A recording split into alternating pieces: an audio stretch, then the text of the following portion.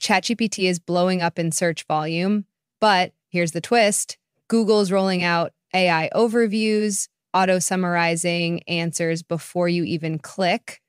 Are we witnessing the death of the traditional search? Search habits are shifting fast.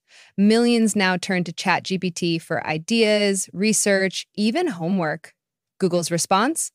AI overviews, instant Gemini powered blurbs right atop your results. They now show up in one in eight searches. Less clicking, more skimming, but some spit out wild stuff like adding glue to pizza sauce. So, is this frictionless knowledge or the end of curiosity? One thing's certain the way we seek truth is being rewritten right now.